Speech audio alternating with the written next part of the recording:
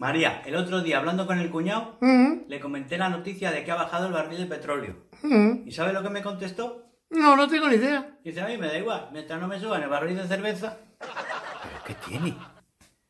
Él siempre a lo suyo. cuñados.